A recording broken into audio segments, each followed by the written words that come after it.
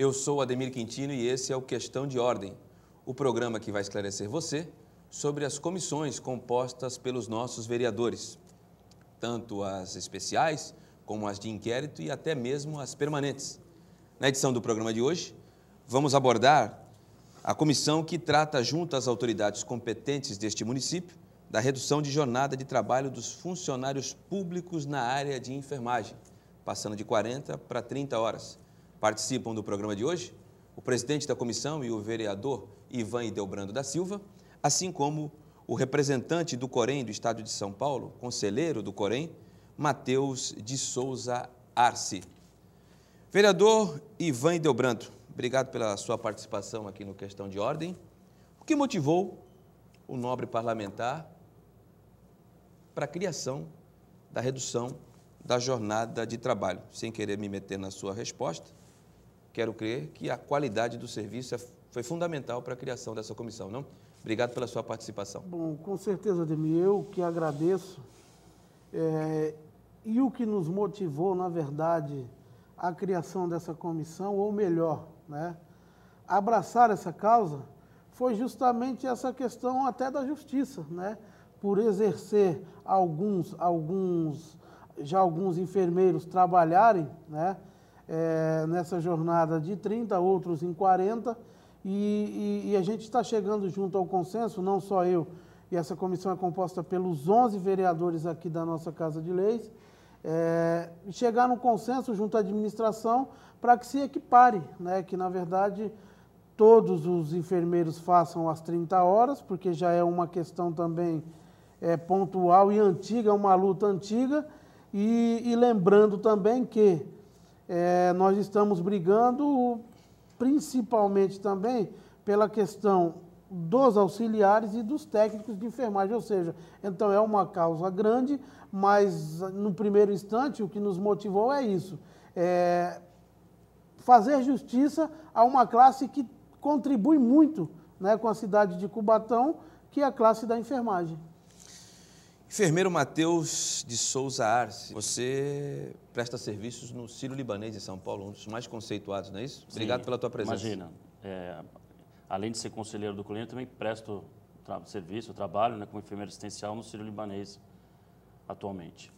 E como é que você enxerga essa redução de jornada, da jornada de trabalho de 40 para 30 horas?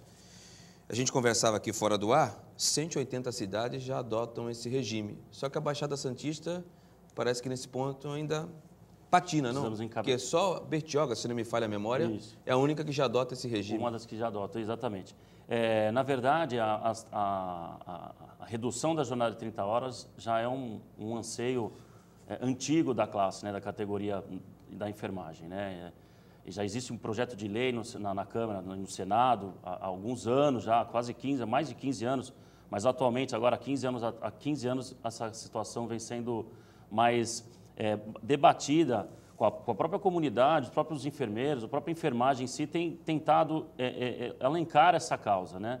A gente sabe que, que a, a profissão de enfermagem é uma profissão desgastante, um profissional, é um profissional que se estressa, né? tem, tem vários fatores que causam estresse, é, é, além das condições de trabalho hoje, a questão do dimensionamento de pessoal. Então, são vários fatores que acabam contribuindo é, é, é para uma assistência, muitas vezes, que a gente sabe que pode ser melhor. E a jornada de 30 horas é uma das, da, seria uma das situações que poderiam ajudar e muito em contribuir a essa melhora da assistência. Um profissional é, que trabalha hoje em turno, muitas vezes, de 12 horas num dia, é, a gente sabe que é uma jornada pesada.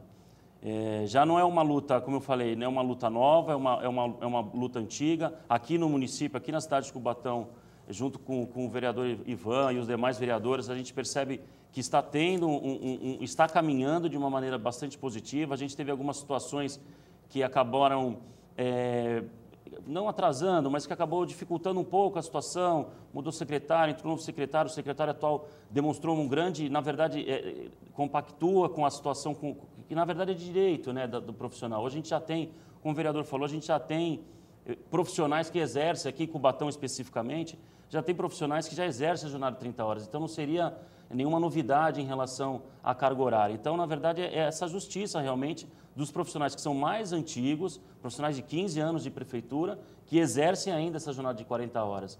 Então, o Corém, junto com a Câmara Executiva, com o Executivo, com a Câmara, a gente está tentando, de uma certa forma, adequar essa, essa jornada de 30 horas. Uma das situações que, que, que se coloca em relação à, à, jornada de 30 horas é o impacto financeiro que isso poderia causar na, na, na, na folha, na, questão do pagamento, folha de pagamento do, dos municípios. Hoje já existem alguns estudos, inclusive existe um, um, um, estudo de um senador em Brasília que isso, se a gente for falar em, em nível nacional, o impacto que geraria na folha do SUS, isso de custo do SUS, é de 0,39%. Se a gente for falar que menos de 1% seria um investimento, na verdade, né? A gente conseguindo melhorar a assistência, melhorar a qualidade da assistência. A gente sabe que a, a assistência melhorando do, do, da enfermagem, isso melhora o recebimento desse, desse é, paciente.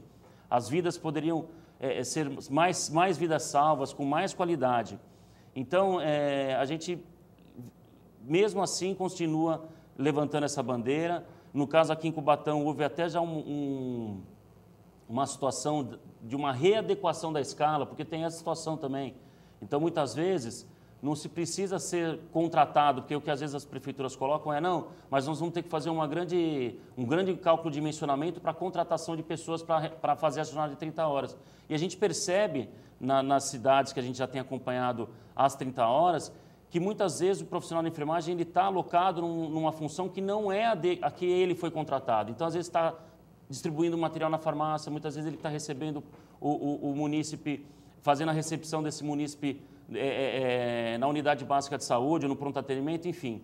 Então, o exemplo de Cubatão, é, eu acho que é válido a gente citar, os enfermeiros aqui, os, os coordenadores, responsáveis técnicos, fizeram uma readequação da escala, dos enfermeiros no caso, e só nessa readequação da escala eles conseguem suprir a demanda de serviço e, e, e, contemplando a jornada de 30 horas. Então, na verdade, não, vai ter, não teria custo nenhum para a prefeitura em relação à contratação de funcionário e adequaria a questão das 30 horas tão pleiteada por esses profissionais já, já há muito tempo. Né? É, então, assim, hoje, para os enfermeiros aqui no município, eu acredito que é uma situação já praticamente isso já foi entregue, já até na, na última reunião que a gente teve para o secretário de saúde. O secretário ficou de encaminhar isso à prefeita para ver se a prefeita autoriza, porque no caso dos enfermeiros não vai mudar em nada. Vai continuar o mesmo número de enfermeiros, não vai onerar custo maior nem nada disso e adequa a questão das 30 horas. Ficando na luta, né, que a gente, até na última reunião, a gente deixou isso bem claro, não deixando os auxiliares e técnicos, porque na verdade é uma luta da categoria, não especificamente de uma classe da categoria. Não querendo fazer a vez do advogado do diabo, mas a gente sabe que o profissional de enfermagem muitas vezes trabalha em mais de um lugar. Essa redução da jornada não pode motivar com que ele tenha mais de um, dois, três empregos e a qualidade seja perdida da mesma forma do que já acontece com as 40 horas ou não, Matheus? Não, Quintino, é muito boa essa sua pergunta, porque é onde geralmente o, o, os, as pessoas se, vão nesse foco. Ah, mas o enfermeiro trabalhando menos vai, vai querer trabalhar mais. É assim, eu vou só querer voltar um pouquinho na situação para a gente explicar um pouquinho essa resposta, antes de responder ela propriamente dito. Hoje, nós fazemos já uma jornada de é, 40 horas semanais. E não impede da gente fazer dois, três empregos, trabalhar em dois, três. Então, não existe, por conta do empregador, uma restrição hoje em relação a trabalhar em dois, três empregos que a gente hoje, se a gente for fazer um cálculo de 40 horas, seriam 80 horas semanais de trabalho, e hoje a gente já a Constituição permite isso, né? a própria Constituição permite. Se a gente diminuir para 30, é, quiçá, qual seria o, vamos dizer que, qual seria o problema de eu fazer uma jornada de 60 horas semanais? Hoje eu faço 80, e o, o, os empregadores, né, os gestores, não, não vem problema. Né? Hoje eu vou fazer 80, não, não, 88, na verdade, é, 80 horas semanais, não teria. Agora, que está na, na 60, então mesmo assim houve uma diminuição. O que a gente coloca, respondendo a sua pergunta, o profissional, na verdade, quando a gente fala redução da carga de, de trabalho, ela, a gente, o Corém, na verdade, isso é um anseio da, da, da, da categoria, a gente é uma luta apenas a jornada de trabalho. Só que a gente também tem a luta, infelizmente hoje, em paralelo, que é do piso salarial. Né? Isso tem também no Senado essa situação Tramitando. tramitando, mas ela está em paralelo. Na verdade, a ideia era que se tramitasse junto. Mas como já foi até falado nas entrevistas anteriores, às vezes a gente juntar muita coisa, a gente não vai conseguir nenhuma nem outra. Então a gente está tentando primeiro essa questão das 30 horas, que mesmo assim, hoje o piso salarial do profissional da enfermagem, ele é muito baixo, ele é pequeno frente à responsabilidade que a gente exerce nos serviços de saúde. Fato. A gente sabe, a gente tem esses programas mais médicos, então quem, quem que segura a bronca, não exercendo a função, tá?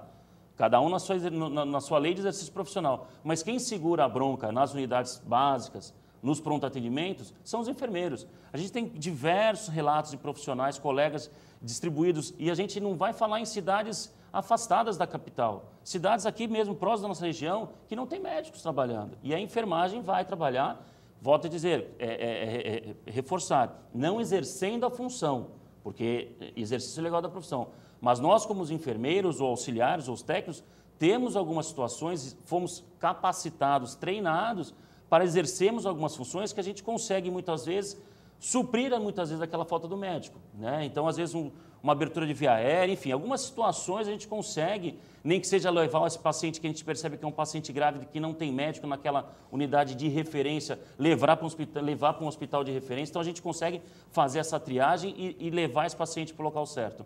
Então, a gente sabe que o piso também vai junto disso. É, a questão do, do trabalho é de direito. Se o profissional acha que ele condiz, ele consegue fazer as 60, a Constituição já permite isso hoje, Quintino, e não tem um... Hoje não se vê...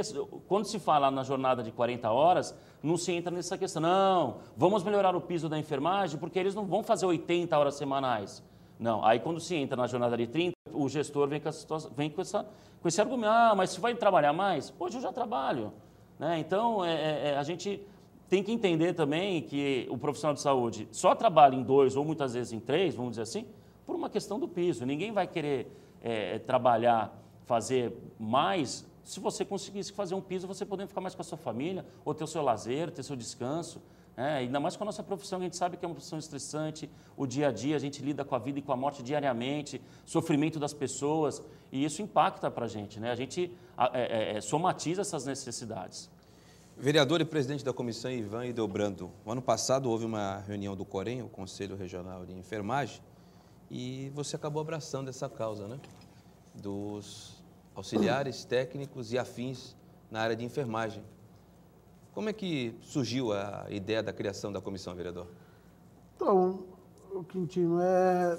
primeiro, rede social hoje, ela vem, ou melhor, tomou uma proporção que já não se tem tamanho.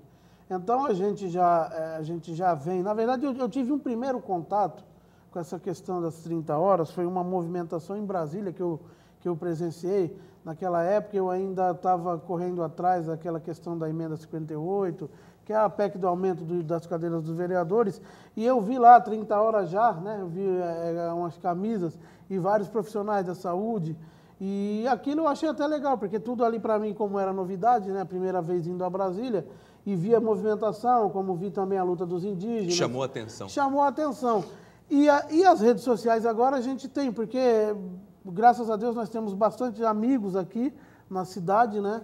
eh, de Cubatão, tenho uma amizade também, eh, também por ser meu irmão em Cristo, o enfermeiro Luciano, eh, e sabedor né, de, de que ele ser- sendo um dos diretores também do Corém, eu particularmente, por presidir a Comissão Permanente de Saúde da Casa, eh, eu me interessei, por quê? Você também é presidente da comissão de saúde? Sim, eu presido a comissão de saúde aqui da casa e, e vários amigos falam, pô, vereador, dá uma ajuda para a gente nessa questão das 30 horas, já está saindo em, em tal cidade, saiu, pô, o Cubatão não vai, eh, não vai mudar em nada, é só mesmo uma questão de justiça, né? É, é de equiparação, já tem 40, aí já tem, já tem trabalhador, já tem trabalhadores da enfermagem que fazem as 30, outros 40, pô, vê se equipara. Então isso nos motivou, foi quando eu tive a ideia, né? E até convidei o Luciano, o enfermeiro Luciano, e mais alguma comissão também de enfermeiros, de técnicos e auxiliares,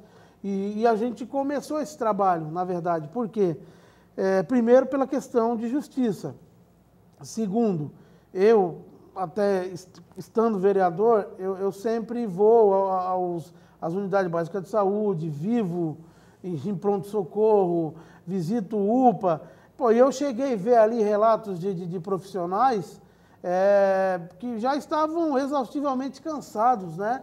E, e, também assim desmotivado pelo trabalho, o, o Ademir, porque a ideia nossa é justamente essa, é, é, é você não um favorecimento ilícito de nada, mas sim você valorizar esse trabalhador da enfermagem.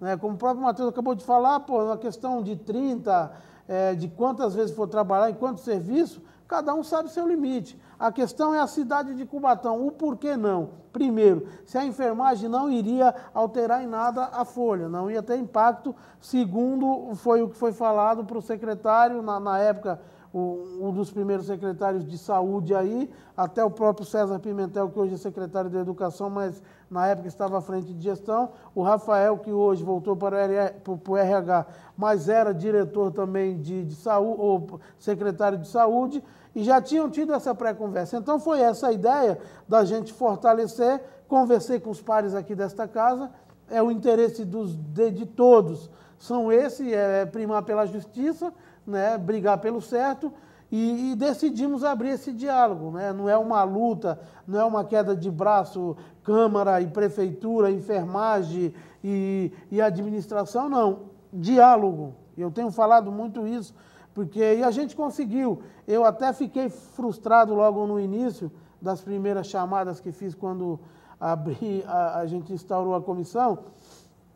É porque quem só vinha era o pessoal do, do Corém, vinha de São Paulo, os técnicos e da administração, alguns faltavam ou mandava a, a justificativa. E eu, pô, comecei, aquele negócio começou a incomodar. Foi quando, graças a Deus aí, é, nas duas últimas, veio em massa, né, o, o pessoal da prefeitura, aqueles que podem, na verdade, resolver o problema da enfermagem, porque não é só o vereador, né? Porque depende da prefeita. A gente pediu, tanto por isso que não tem, não é uma questão política, ah, é a base de apoio ou é, ou é oposição, não, é uma questão é, de justiça e, e, assim, aceito por todos os vereadores. Então, todos que têm o um contato, a gente tem falado, falado com a prefeita, conversado com os secretários, nesse sentido de que, é, de primeiro, é claro, equiparar essa situação, da enfermagem em si. Já na segunda reunião já tivemos, já trouxeram já um número é, de auxiliares de enfermagem, né? o que daria um pouco de, mais de problema, que precisaria ser feito um estudo. No entanto, que fizemos, já tem outra reunião marcada para o dia 25, se, se não me falha a memória. E é que seria a questão dos técnicos, que é o número mais elevado. Mas a questão da enfermagem, ali nós já saímos ali praticamente é, com uma resposta positiva. Né, dos auxiliares também, e em todo momento, porque a preocupação tanto do Corém do enfermeiro Luciano e, e, de todos ali que estavam, porque tinha representantes, tinha enfermeiros, tinha técnicos e tinha auxiliares. Por quê? Porque é uma questão ampla, é a categoria, nós estamos discutindo categoria. Então, é, cada um ali opinou. Alguns eu sei que no momento, pô, é, ficou insatisfeito, depois mandaram as mensagens, pô, mas será que só vai ficar? Será que só vão. É, essa benção só vai para o enfermeiro? Eu falei, não, essa benção a gente vai buscar para todos. Né? Temos a questão dos, do, dos auxiliares técnicos, que acho que era um número de 35, e os técnicos de 108. Mas aí também tem essa questão de impacto. Precisa saber o, o o que o secretário vai trazer agora, o secretário de Finanças, né, nesta outra reunião, para a gente poder continuar, dar continuidade, mas deixando bem claro que a luta ela tem um começo, um meio e um fim. E nós conversamos aqui, não é o vereador Ivan apenas que está falando, eu estou falando no nome dos meus dez companheiros de casa. A luta é pelo enfermeiro, pelo técnico e pelo auxiliar de enfermagem, ou seja, de toda a categoria. E eu vou te falo de coração aqui, primeiramente crendo muito em Deus, né? Mas eu te digo de coração, eu estou confiante de que vai se chegar num denominador positivo. Conselheiro Matheus, não vou deixar o presidente da comissão, o vereador Ivan Delbrando em maus lençóis. E vou deixar uma pergunta para você, para você responder depois do intervalo. Você tem sentido boa vontade do Poder Executivo na concretização de que seja uniformizado as 30 horas da jornada de trabalho para os funcionários de enfermagem, técnicos e auxiliares? Mas você vai responder depois do intervalo.